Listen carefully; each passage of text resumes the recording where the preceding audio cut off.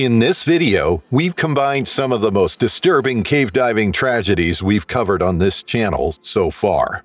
From divers who got lost in the silt, to divers who made a wrong turn and struggled to find their way out. If you enjoy watching these videos, make sure to subscribe to our channel for more exciting cave diving stories like these.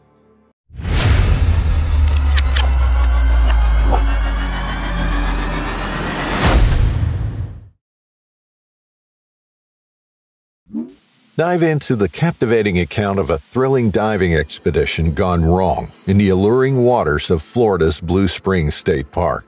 This story involves friendship, passion, unexpected challenges, and a tragic finale, unraveling the profound implications of diver preparedness and adherence to safety rules.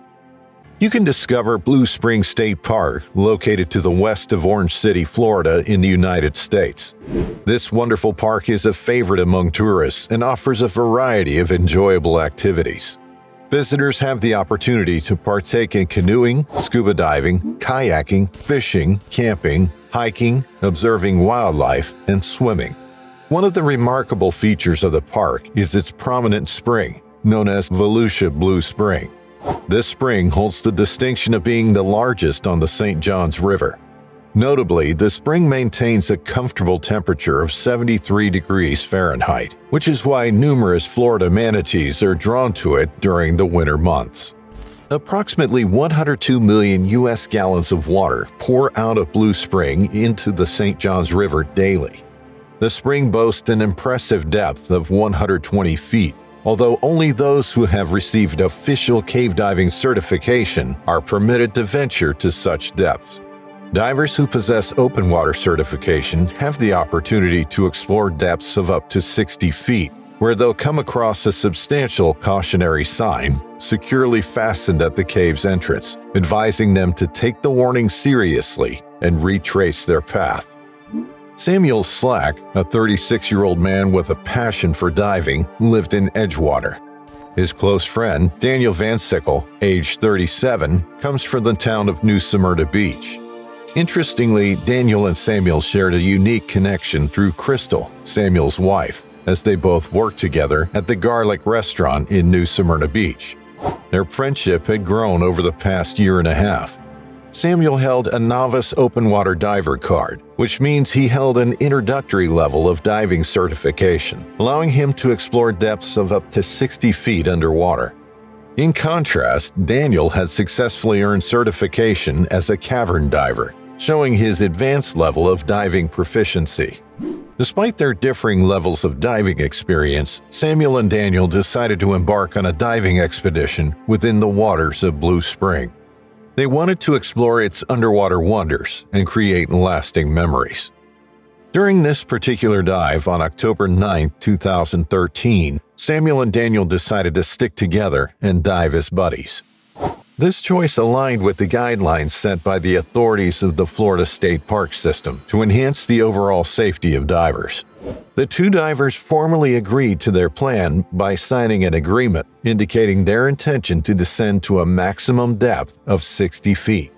This predetermined depth is crucial due to the unique characteristics of the cave environment. Beyond the 60 foot mark, the underwater cave structure becomes steeper and shrouded in darkness, posing additional challenges. Divers who have specialized cave or cavern certifications are allowed to use underwater lights to dive beyond this depth. However, Samuel, lacking the required certification, was mandated to stick to the designated 60-foot limit during their buddy diving expedition.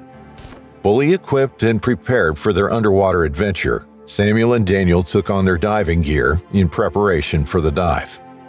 Daniel, being a certified cavern diver, showed an extra level of vigilance and preparedness by including an additional breathing apparatus known as a regulator among his equipment.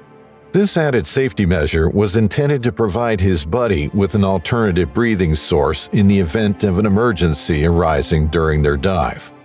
Both divers also had wrist-worn dive computers, a handy tool that not only tracked and documented their diving progress, but also displayed essential information, such as their current depth underwater. As they commenced their dive, the initial stages went smoothly, with everything proceeding as planned. Remember that Samuel and Daniel had formally agreed to a specific dive depth of 60 feet. However, an unexpected turn of events occurred once they reached the designated depth. Rather than sticking to the agreed upon limit, the two men decided to venture further, diving to a great depth of 116 feet. During their approximately two minute stay at this depth, they explored their surroundings. Having completed their underwater exploration at the depths of the spring, Samuel and Daniel started their ascent toward the water's surface.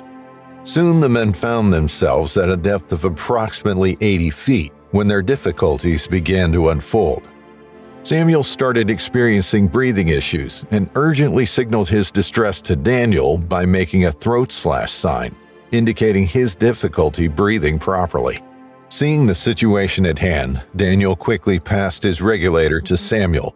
This immediate action provided Samuel with a temporary solution to his breathing problem, relieving his distress momentarily. It's important to recall that Daniel carried an extra regulator in his diving equipment. This was intended to be used by his buddy in case of an emergency, precisely like the situation they were now facing. However, an unexpected difficulty arose due to the placement of this extra regulator. It was secured beneath the chest straps of Daniel's buoyancy vest, making it inaccessible when it was needed most.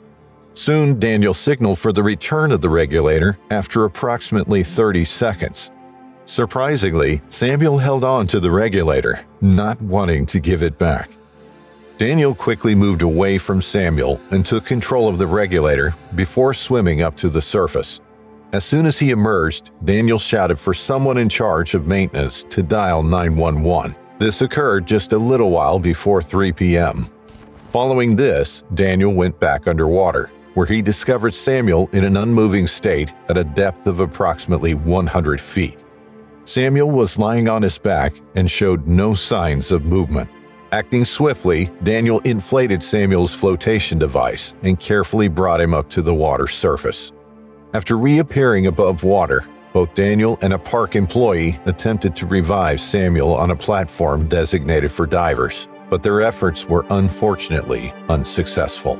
Soon after, fire rescue and evac paramedics arrived on the scene and continued their life saving endeavors. Samuel was transported to Florida Hospital Fish Memorial, where his condition deteriorated and he passed away shortly after 3:40 p.m. At the same time, Daniel was transported to Florida Hospital Orlando so he could receive treatment in a specialized chamber designed for decompression sickness. The reason for this action was that when Daniel initially ascended to call for assistance, he rose from a depth of 80 feet without adhering to the necessary decompression stops. Moreover, upon re entering the water to reach Samuel at a depth of 100 feet, Daniel neglected to follow any decompression stops once again. Decompression sickness, also known as DCS, the bends, or caisson disease, arises when an individual fails to undergo proper decompression after being exposed to increased pressure, such as that experienced during scuba diving. This condition can manifest in varying degrees of severity, ranging from mild instances that do not pose an immediate threat to more severe cases resulting in serious injuries. When engaging in scuba diving using compressed air, the diver inhales both oxygen and nitrogen. While the body utilizes oxygen, the nitrogen becomes dissolved within the bloodstream throughout the dive. When you start to swim upwards back to the surface after diving deep underwater, the pressure of the water around you becomes lower. If this change happens too quickly, the nitrogen in your blood doesn't have time to clear. Instead, it separates from your blood and creates bubbles in your tissues or blood vessels. These bubbles made of nitrogen are what lead to decompression sickness. They give you pains in your joints and bones that can be so intense they make you bend over, which is why the condition is called the bends. The process that occurs inside your body during decompression sickness is quite similar to what happens when you open a fizzy drink. Imagine that when you open a can or bottle, the pressure around the liquid inside becomes lower, causing the gas to escape from the liquid in the form of bubbles. Similarly, if nitrogen bubbles form in your blood, they can harm your blood vessels and block the normal flow of blood. This can lead to problems in your body due to the blocked blood vessels.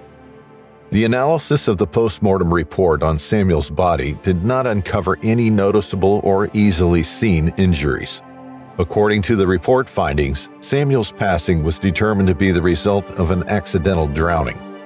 Further checking of his diving tank revealed that it contained around 2,100 pounds of pressure or air, which would have been enough for him to surface easily.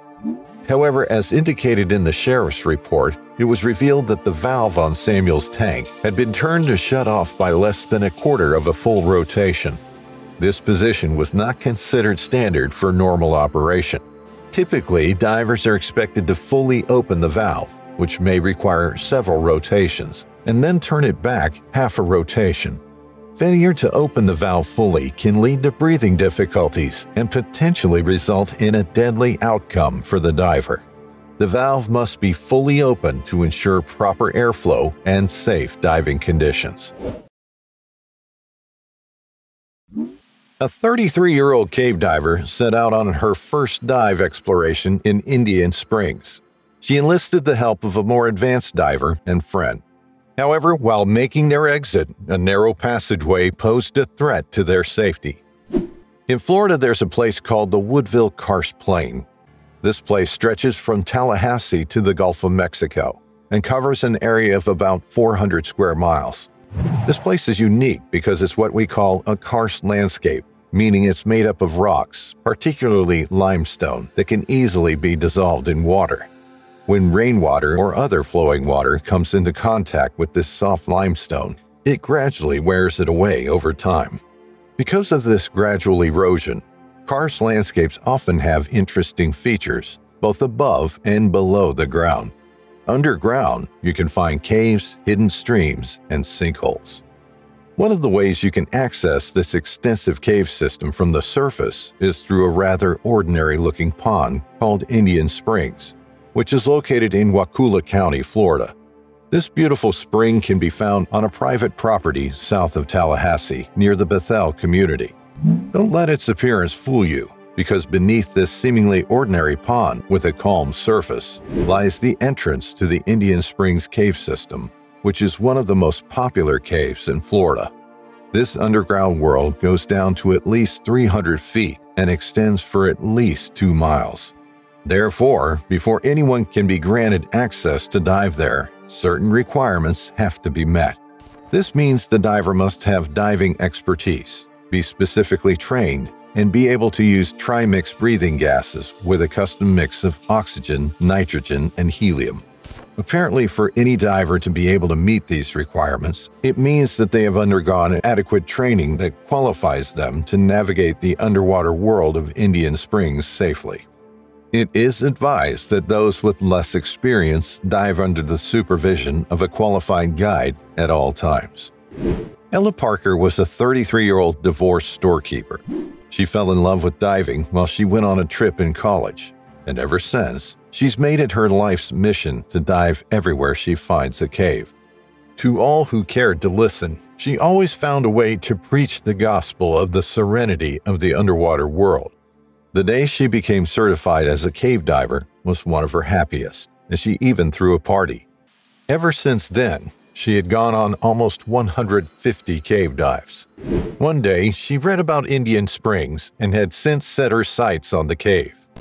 However, due to the dangerous nature of the cave and the fact that divers must be supervised by qualified guides at all times, she sought the help of a friend who was a more advanced diver, Lewis. Luckily, Lewis was down for the dive, and they began preparations for the dive day. On that bright morning, Ella and Lewis arrived at Indian Springs and were prepared to enter the water. They walked toward the spring, which is a little pond that is visible in a clearing surrounded by trees. They walked toward the boardwalk that goes down to the water side. After suiting up, they went over their dive plan again, which was to dive all the way to the Wakulla room which is approximately 4,500 feet upstream. During their preparatory dive, they had set up stage tanks in different locations within the cave. Lewis dipped below the pond surface, and Ella followed closely behind. Slowly, they dove to the bottom of the pond, and soon they could see the cave entrance. When diving in Indian Springs, Once a diver gets to the pond floor, they can see the cavern that eventually turns into Indian Springs Cave. Ella was amazed by the beauty she was seeing, and with Lewis still in the lead, the divers went through the cavern, leading them into a tunnel. This tunnel went on for a couple hundred feet until they got to an area known as Squaw's Restriction. At this point, Lewis looked over at Ella and asked if she was fine. She gave a thumbs up signal to indicate that she was okay, so they continued on their journey. Right from the Squaw's restriction, the cave began to grow narrower, so they had to be careful not to disturb the mud in that section, which could lead to reduced visibility. After going on for a while, they got to a point in the tunnel that they had to slow down and go through one after the other with their equipment. Lewis went through first, and once he had exited the tunnel safely, Ella dove through next, and she ensured she was really careful. Eventually, she made it through. At the other end, she met a waiting Lewis, and looking around, she saw that the tunnel opened up to a series of windings. It was a spectacular sight, because these tunnels are made of rough yellow and white limestone. It was a beautiful sight to behold. However, at this point, they ensured they were guided by permanent guidelines that were fixed in this section. The area is prone to silting out easily, hence the permanent guidelines, which usually cover the entire area. From here, Ella and Lewis dove through the winding tunnels, and this was the pathway that would lead them to their destination. Later, they finally got to the Wakulla room, which was a huge room. Ella was so happy that she gave Lewis a high five. It was more beautiful than she had imagined. They began exploring every section of the room. After a while, they began to exit. While diving back, they got to where they had staged their nitrox bottles and they picked them up. They still had enough gas to help them make their ascent successfully. At this point, one could think what could go wrong? The divers retraced their path as they exited. When they got to a distinctive 500 foot arrow marker on the guideline, Lewis checked on Ella. Seeing that she was doing just fine, Lewis continued to lead the way. They dove through the winding tunnels, and the next stage was to head to Squaw's restriction through the narrow cave. Lewis dove through first, and it was Ella's turn to follow suit. At the squaw's restriction, Lewis waited for Ella so they could continue on their ascent. However, he realized she was taking longer than expected. He began to grow worried. Still hopeful, he waited for a few minutes, and when he didn't see her coming, he decided to go after her. On approaching the narrow section, he was met with an unusual and unexpected sight. Right where only a single diver and their equipment could get through at once, Lewis saw his friend there, stuck. Her tank had been caught in a loose guideline, and with the limited space, she was unable to move around to free herself. Lewis thought about how this could have happened. He had not noticed this guideline earlier, otherwise, he could have notified Ella. Distraught, he tried to see what he could do, but there was nothing. Furthermore, he realized the section was gradually getting silted out. In a bid to free herself, Ella kicked up some silt at this point, their stage bottles were running out and would soon get empty. This was horrifying to think about. Lewis tried directing Ella on how to twist and turn, but it only resulted in more silt disturbance. And when he checked his pressure gauge again, he realized the air was getting critically low. With a heavy heart, Lewis had to summon the courage to leave Ella there and go seek help. He was hoping that a miracle would arise in this hopeless situation. He assured her that he was going to get help, even though she did not want him to leave her alone. Fear was quite visible across her face, and her eyes begged to be saved. Then, almost completely out of gas and with fear in his heart, Lewis raced up to the next set of bottles, which was a hundred feet up. He got there just in time, but despite making it to the bottles, his heart was heavy, and a sad feeling washed over him especially seeing the bottle that Ella's should have used. He was horrified as he made his ascent. Immediately after Lewis broke the surface and got out, he raised an alarm, and the divers on the ground quickly gathered around him. He narrated the whole ordeal to them, begging them to help save his friend, although he feared she had already run out of oxygen. About one hour later, two rescue divers made their way to the section where Ella got stuck, and their fear was confirmed. She had breathed her last, and her lifeless body was still held in between the narrow sections. Given the depth of the incident and the condition in which she was found, the retrieval of her body was complicated. After two unsuccessful attempts at bringing her out for two days, a much more experienced diver who had done several similar rescue dives was able to retrieve her body and bring her back to the surface. As a medical student and cave diving enthusiast, Steve McAtee has seen his fair share of danger. But nothing could prepare him for the heart-pumping adventure he was about to embark on in the Great Crystal Cave.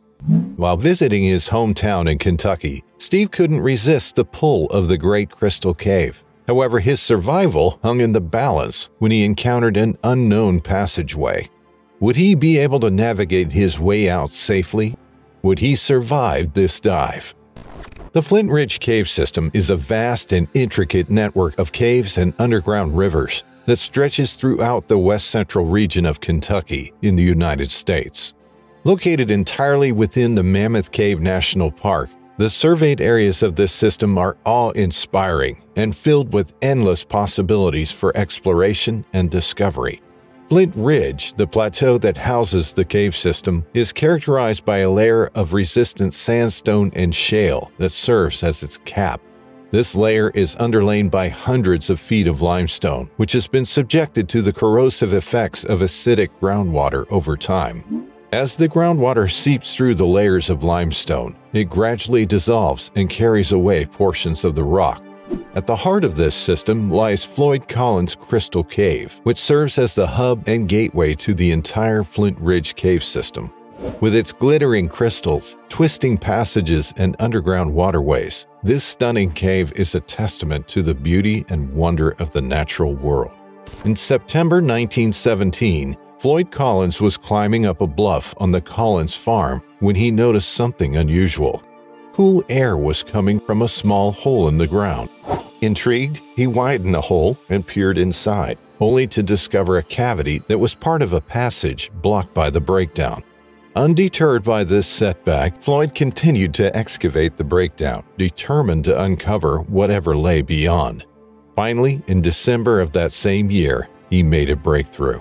He had discovered the sinkhole entrance to what would become known as the Great Crystal Cave.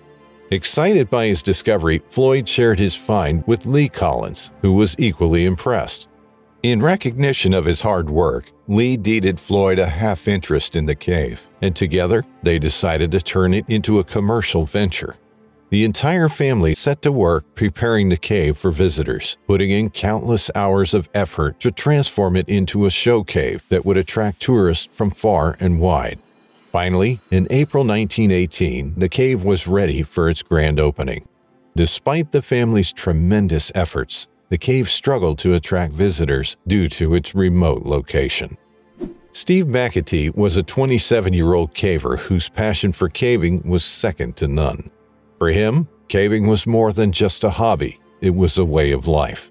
He spent most of his free time exploring caves, often with his closest friends, in a never-ending quest for adventure and discovery.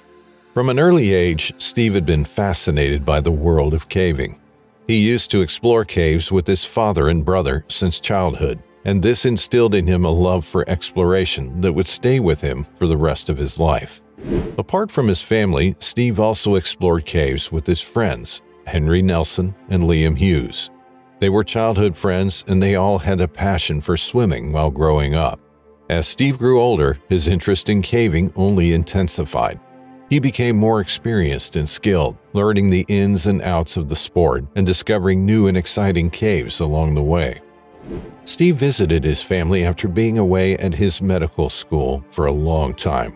While he was there, he decided to embark on an adventure to explore the Great Crystal Cave with two of his friends, Henry and Liam, whom he had not seen for quite some time. Upon their arrival at the cave at approximately 8 a.m., they meticulously studied the cave's map and strategized their diving plan. The trio had decided to explore no more than 98 feet into the cave before they exited, so as not to overextend themselves. They thoroughly examined their diving equipment and ensured that everything was in proper working order. After doing so, they donned their gear and began their dive at precisely 8:30 a.m. When they had dived for a while, they eventually exited the cave. However, Steve was not quite satisfied with the extent of their exploration and felt compelled to return to the cave to further delve into its depths. Steve suggested to Henry and Liam that they return in two days, which would be on a Wednesday, given that he was due to leave on Friday. To his dismay, Henry was set to travel out of town, while Liam had a pre existing appointment. Despite this setback, Steve remained steadfast in his desire to explore the cave and informed Liam of his plan to dive alone. He shared his detailed dive plan with Liam, disclosing that he intended to dive to a depth of 131 feet. Liam told him that by the time he returned to the surface, he should be back, and he would contact him to inquire about how the exploration went. On a bright Wednesday morning, Steve arrived at Crystal Cave filled with anticipation and excitement for his solo diving expedition. After having meticulously checked and ensured that all his diving equipment was functioning optimally, he began his dive at precisely 8:40 a.m. With each stroke, Steve marveled at the breathtaking scenery that lay before him, taking in every detail with a sense of awe and wonder. As he continued to dive, he felt an intense desire to push his limits and explore further than his initial 131 foot depth. Fueled by this sense of adventure and exploration, Steve continued to push himself deeper and deeper into the cave until he missed the actual tunnel he was supposed to take, mistakenly entering a region he was not familiar with and one where the visibility was extremely low. He began crawling through the tiny entrance, and he suddenly realized that he had made a catastrophic mistake. The space he had entered was only 10 inches across and a mere 18 inches high, leaving him with no room to breathe or move. Despite his best efforts, Steve was unable to turn around and extricate himself from the narrow passageway, as the tightness of the space prevented him from doing so. To put it plainly, he was stuck. Upon Liam's return, he phoned Steve to inquire about his dive, but he tried repeatedly with no response. As a result, he grew concerned that Steve might still be diving, which was unlikely. Therefore, he contacted Steve's father to check if he was home, but he was informed that Steve had not yet returned. Liam hastily drove to Crystal Cave, hoping that his friend was safe. When he arrived at the cave, he noticed Steve's vehicle, causing his heart to skip a beat. He attempted to call Steve's phone again, but it rang continuously. Liam approached the truck and heard the ringing phone. He inquired if anyone had seen Steve leaving the cave, but no one had. Consequently, he alerted the cave officials of the possible danger that his friend might be in, and two rescue divers were immediately summoned to the scene. Liam also contacted Steve's father, Harry, to inform him of the situation. Harry promptly set out for the cave without delay. After suiting up and checking their gear properly, Liam informed the rescue team about Steve's dive plan, providing them with the necessary information to begin the dive. Once they were all set, they set out into the water and began their descent. They dived further, following Steve's dive plan. They eventually stumbled upon Steve's body, which was lodged in the narrow passage. It was at that moment that they realized that he had made a fatal mistake and had taken a wrong turn causing him to run out of air and become trapped. Despite their best efforts, the team was unable to retrieve Steve's body due to the difficulty of the passage and the amount of silt that had kicked up during their initial recovery attempt. To avoid any further danger, they decided to abandon their efforts and return at a later time with more experienced divers and better visibility. The following day, two experienced recovery divers joined the team and together they were able to retrieve Steve's body after a three hour long operation. However, it was not a pleasant sight, as his joints had become dislocated from being pulled out of the confined space and trapped for so long. Using the information gathered from the dive profile and the cave map, experts were able to piece together the sequence of events that led to Steve's tragic death. The autopsy revealed that he had drowned, and it was estimated that he had been stuck in the passage for around 35 minutes before running out of air. Steve's loved ones grieved his untimely passing, but they also honored his memory for having lived a rich and fulfilling life. While it may appear that even seasoned professionals cannot be entirely cautious when cave diving, isn't taking risks a fundamental aspect of living? To all those who engage in cave diving, remember to prioritize safety and adhere strictly to all diving protocols. Florida's Blue Spring, which is located in Volusia County, is noteworthy and prominent. This spring is categorized as a first magnitude spring, meaning it releases a minimum of 100 cubic feet of water per second. The term first magnitude refers to the largest springs, and there are a total of 27 of these in Florida. Blue Spring ranks as the 17th largest in terms of water release among these 27 springs. Blue Spring State Park is a top spring in Florida and the largest on the St. Johns River. The first magnitude spring releases water close to a depth of about 240 feet and has dimensions of about 360 by 160 feet, which is equivalent to the size of a soccer field. It's a natural sanctuary for the endangered West Indian manatees during the winter. Aside from manatees, Blue Spring also hosts a diverse range of freshwater and saltwater fish.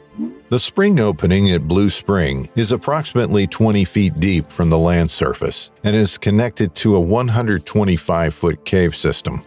This cave is a popular destination for cave divers. The spring is divided into three areas. One area is accessible to all visitors, while another is strictly off limits to protect the manatee sanctuary.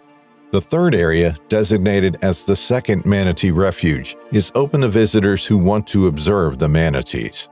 Additionally, the Amerindian Temple Mound is located at Blue Spring, where Native Americans, also known as Amerindians, lived before the Europeans arrived in North and South America. Julian, a resident of Fort Lauderdale, Florida, has been passionate about diving since he was a teenager. His love for the underwater world has taken him to different cave systems across Florida, Mexico, and South America. Apart from his interest in diving, Julian is also an avid climber. He finds solace and thrill in the breathtaking views from the top of the mountains. His adventures in climbing have taken him to various parts of the world, exploring the beauty of nature and testing his limits. Julian is known to be a dedicated and serious individual who puts his heart and soul into everything he does. His focus is to build a career in diving, and he aspires to become a diving instructor after completing his training and fulfilling all the requirements. Julian and his friend Todd Williams, who is also a qualified diver, have always been fascinated by the underwater world. They had planned to explore the cave system at Blue Spring in the past, but unfavorable weather conditions forced them to abandon their plans. However, they were determined to return to the site someday and complete their dive. Two years later, Julian and Todd found themselves in the vicinity of Blue Spring with an opportunity to finally explore the cave system they had longed to see. Despite their diving experience, they knew that the Volusia cave system was unfamiliar territory, so they decided to hire a dive guide named Marcus. Marcus had extensive knowledge of the Volusia cave system, and he shared valuable insights with Julian and Todd before the dive. He pointed out potential hazards and helped them navigate through the cave system safely. The morning of the dive at Blue Spring had finally arrived, and Julian, Todd, and Marcus were ready to explore the cave system. They got suited up and began their preparations for the dive. Before descending, they conducted buoyancy checks at a depth of 23 feet to ensure they were all comfortable and ready for the dive. Although Todd was showing signs of nervousness, they both exchanged OK signals with Marcus, indicating that they were ready to proceed with the dive. They began their descent into the cave system. As they ventured further into the cave, Todd began to feel uneasy and signaled to Julian and Marcus that he wanted to end the dive and wait for them on the surface. Julian and Marcus, who were determined to continue the dive, reassured Todd that they would be back soon and that he should wait for them at the surface. With Todd safely on the surface, Julian and Marcus continued the dive, eager to explore more of the cave system. They swam through the narrow passages, marveling at the stunning rock formations and the fascinating marine life that surrounded them. After a while, they decided it was time to start their ascent to the surface. As Julian and Marcus made their way back after a successful exploration of the cave system, Julian began to feel increasingly nervous. He started to panic and lose focus, which was immediately noticeable to Marcus, who was following closely behind. Concerned about Julian's condition, Marcus asked if he needed help, but Julian insisted that he could manage on his own. However, Marcus continued to keep a close eye on him, knowing that panic can quickly escalate in a diving situation. Suddenly, Marcus noticed that Julian was dumping gas from his buoyancy control device, and then he started to descend again. Marcus quickly swam over to Julian to assess the situation and noticed that he was frantically signaling to go up in a hurry. Marcus realized that Julian was in a state of panic and needed to be calmed down to allow for a controlled ascent. He tried to communicate with Julian, urging him to take deep breaths and relax to allow a controlled ascent. As they began their ascent, Julian's behavior became increasingly erratic. He was alternately swinging his arm and gripping Marcus's arms, causing him to lose his regulator twice. Marcus, an experienced diver, quickly went behind Julian and held on to his cylinder handle as he swam him toward the guideline. Once they were properly aligned, Marcus changed his position to face Julian, and they started to ascend together. Julian continued to grip Marcus tightly by both his upper arms, which left noticeable indentations and slight bruising on Marcus's skin after he removed his wetsuit. Despite the challenging circumstances, Marcus remained calm and collected, using Julian's BCD to control their ascent while he dumped his own BCD. After ascending 22 feet, Julian lost his regulator once again, and Marcus quickly replaced it in his mouth. Marcus noticed that Julian's breathing had become rapid and shallow. At eight feet, Marcus noticed that Julian was foaming at the mouth and that the foam was coming out through his regulator. Julian appeared to be unconscious, but he was still exhaling, and white foam was filling his mask. Marcus knew that Julian was in serious trouble and needed immediate help. The pair quickly surfaced, and Marcus immediately released Julian's weight belt letting it drop to the seabed. Marcus then removed his own BCD and Julian's BCD to help Julian get more air. He checked Julian's airway and saw that he was still exhaling foam. Marcus knew that time was of the essence and that Julian needed urgent medical attention. Marcus immediately called out to Todd for help, who was nearby, and they both rushed over to Julian. Upon reaching the scene, Todd could see the situation of his friend, and the seriousness of the situation caused him to panic.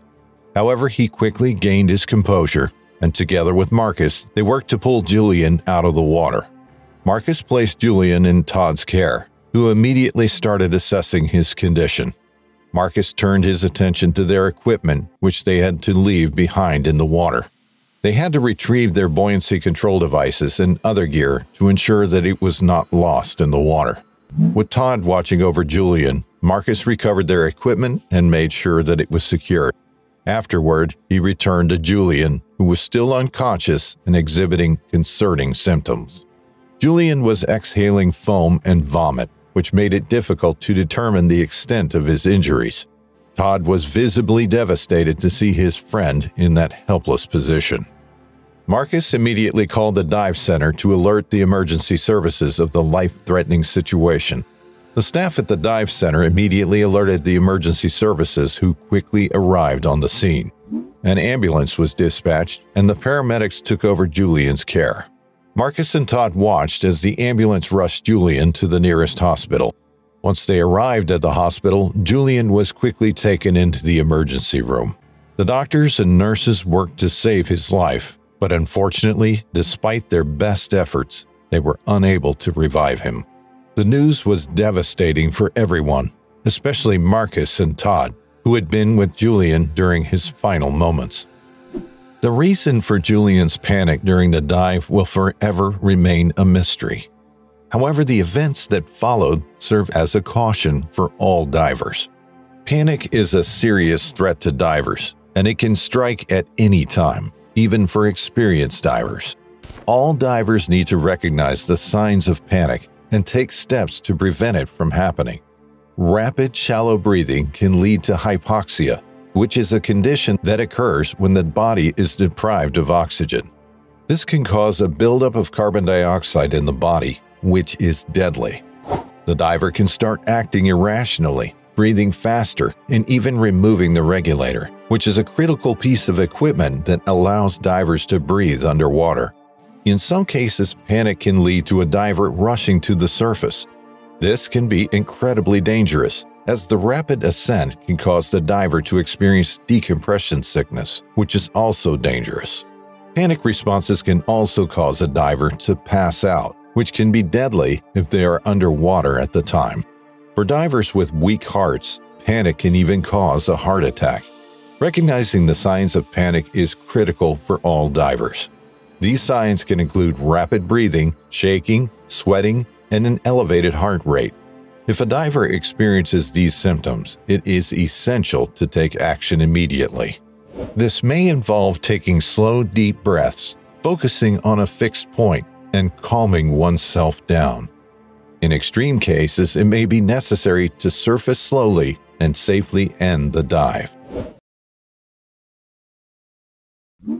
Two friends embarked on a celebratory dive in the Monk Seal Cave after being certified as professional cave divers. Enthralled by the beauty of the deep, they decided to dive further for 32 feet before ascending. When one of the divers ascended, she realized that her friend, who had been ahead of her on their way up, had not ascended.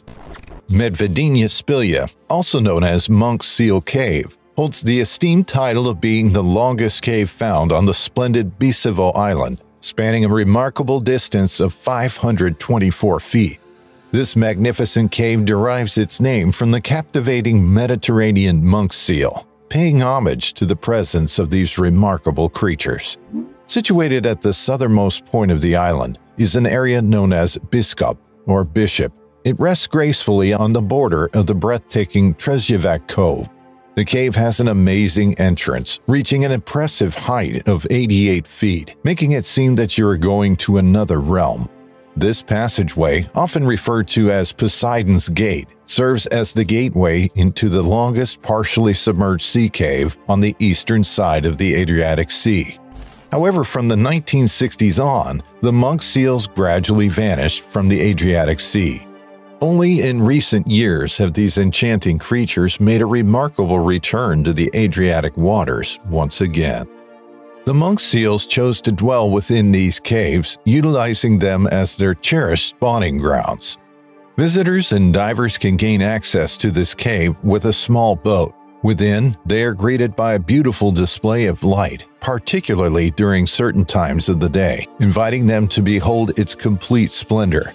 However, after a distance of approximately 131 feet, the cave gradually narrows, stopping any further boat exploration. Haley McCarthy and Stacy Liam are dive buddies who formed a special bond through their shared love for exploring the underwater world. Their journey began when they crossed paths during their training for open water diving certification.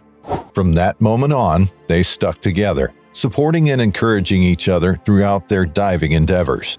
As they progressed in their diving training, Haley and Stacy were determined to acquire the certification for cave diving together. They made a pact to embark on an extraordinary exploratory dive together. Their destination of choice is the renowned Monk Seal Cave because of its beauty and history.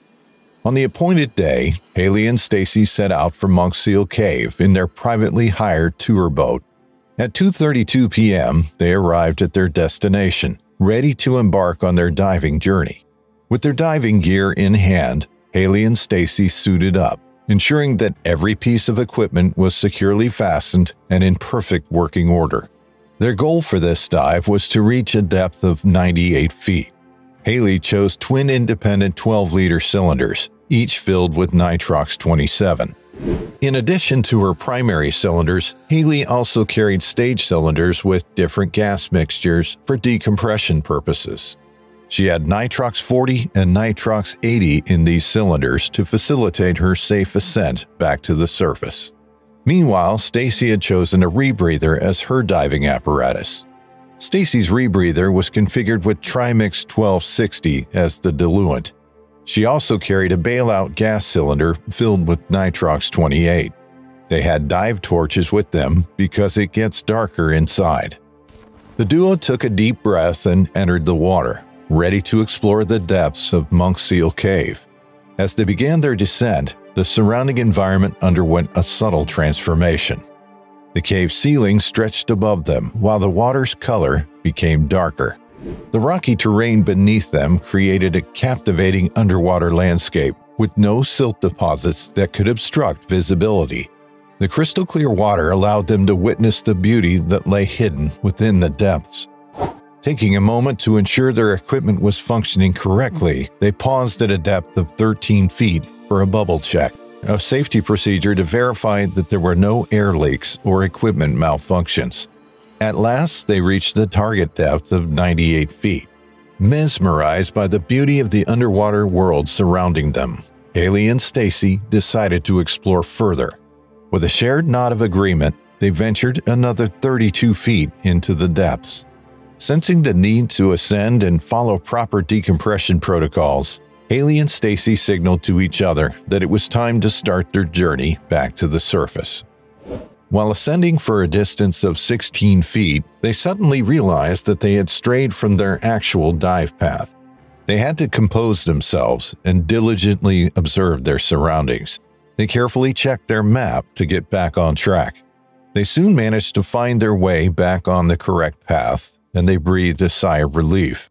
Approximately 32 feet further along their route, Haley, who was on an open circuit system, deployed a delayed surface marker buoy, or DSMB, which contained a relatively small quantity of gas within it. This is typically done by divers during the concluding stages of their dive. The purpose of the DSMB is to signal their ascent while providing a visual reference point along the line and simultaneously marking their precise position for the surface boat to monitor. It also serves the crucial function of facilitating decompression and ensuring safety stops are efficiently executed. As Stacy continued her ascent, having already ascended approximately 18 feet from their previous location, she deployed her own DSMB. Upon successfully deploying the DSMB, Stacy noticed that Haley had managed to position herself approximately 6 feet above her. Motivated to bridge the distance between them, Stacy swiftly went faster in her ascent in an attempt to catch up with Haley. However, it became surprisingly obvious that Haley was ascending at an accelerated pace, outpacing Stacy's efforts to close the gap. Stacy decided to slow her ascent, deliberately reducing her speed when she reached a point around 82 feet from their starting point. Intending to reunite with Haley, Stacy decided to continue her ascent at a regular pace, while believing that Haley would remain visible along the line of the DSMB. She assumed they would meet up around 39 feet as planned.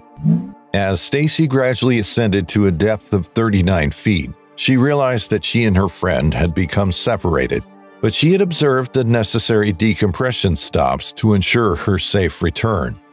Having fulfilled the requirements for decompression, Stacy resurfaced and made her way back to the dive boat. Although she was not expecting to meet Haley up there, her decompression needs would have been greater due to her using an open circuit system. Haley's DSMB caught Stacy's attention positioned upright and approximately 50% of it submerged. However, a growing sense of concern enveloped Stacy after approximately 35 minutes had elapsed since resurfacing. She requested that the boat move closer, hoping to identify any discernible bubbles that might provide clues about Haley's whereabouts. Unfortunately, despite the boat's closer proximity, no bubbles could be detected. This made Stacy worry about Haley's well-being and location. Suiting up again, Stacy dived back into the waters, determined to locate the DSMB, situated approximately 65 feet away. As Stacy swam closer to the DSMB, her eyes detected the presence of the reel, but Haley was nowhere to be seen, leaving Stacy with no choice but to ascend and inform the boat crew about the absence of her friend. Upon retrieving the reel, an investigation revealed that approximately 22 feet of the line had been unspooled, adding another confusion to the unfolding mystery. Acting swiftly, the dive boat skipper immediately initiated a distress signal, urgently issuing a mayday call, while enlisting the assistance of other people to initiate a thorough surface search. A collective effort ensued as a total of six boats, including one RNLI lifeboat, rallied together. They searched the expansive surface in a desperate bid to locate any trace or glimpse of Haley's presence. Despite the relentless search, the anticipated sight of Haley ascending from the depths did not happen. This prompted the deployment of two expert divers who dived in for a search and rescue. After searching as they dived on, Haley's lifeless body was located at a depth of 72 feet, floating around, a sad confirmation of the fate that had befallen her. Her body was carefully retrieved from the depths and transported to the surface, where the waiting lifeboats stood as they witnessed the tragic turn of events. Examining Haley's diving gear, it was discovered that all cylinders were still filled with gas, and the regulators were found to be functioning as intended, raising concern for the rescuers about the actual reason for her untimely demise. With heavy hearts, Haley's lifeless body was solemnly conveyed back to the shore. After being examined by medical personnel, it was revealed that she had suffered a heart attack. This was the 11th cave diving marathon on this channel. Let us know what you think in the comments section. If you enjoyed watching, take a dive on the like and subscribe buttons and hit the bell icon so you get notified when we come back with another exciting cave diving story.